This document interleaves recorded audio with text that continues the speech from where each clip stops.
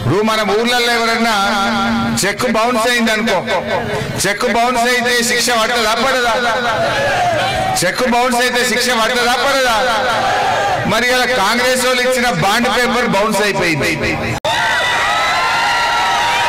కాంగ్రెస్ వాళ్ళు bond paper మీద ఏం చేయాల్సి ఇచ్చిండ్రు? మేము వంద రోజుల్లో ఆరు గ్యారెంటీలు అమలు చేస్తామని చెప్పింది మరి వంద రోజుల్లో ఆరు గ్యారెంటీలు అమలైనయా? మొదటి గ్యారంటీ మహాలక్ష్మి. మా అక్క చెల్లెళ్ళందరికీ జీతం పడ్డట్టు ఒక్క తారీఖు నాడు ఇరవై ఐదు వందలు వేస్తా అన్నాడు. వచ్చినాయా చెల్లె? జర చూడండి ఒకసారి టీవీలో ఎట్లా చెప్పిండు ఎంత?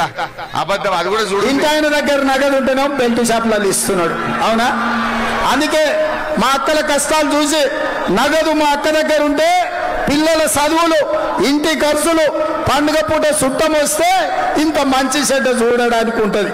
అందుకే ప్రతి నెల మొదటి తారీఖు నాడు ప్రభుత్వ ఉద్యోగికి జీతం వచ్చినట్టుగా ప్రతి నెల మొదటి తారీఖు నాడు ఆడబిడ్డల ఖాతాలో రెండు వేల ఐదు వందల రూపాయలు ప్రతి నెల ఆడబిడ్డల పడ్డాయా చెల్లె ఎవరికన్నా? ఇరవై ఐదు వందలు పడ్డాయా? ఎంత ముద్దుగా అబద్ధమాడిండు చెల్లె? నమ్మిచ్చిండు ఊరిచ్చిండు. డబ్బల ఓట్లు పడగానే గద్దెనెక్కగానే గుండెల మీద దండిండు మరి ఆయనకు బుద్ధి చెప్పాలనా వద్దా? ఇప్పుడు నాలుగు నెలల చెల్లె.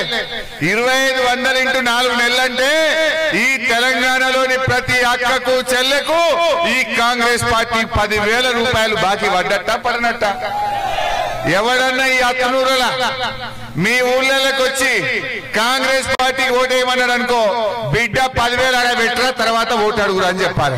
మెదక్ ఎంపీగా వెంకట్రామరెడ్డిని గెలిపిద్దాం ప్రశ్నించే గొంతును పార్లమెంట్కు పంపిద్దాం.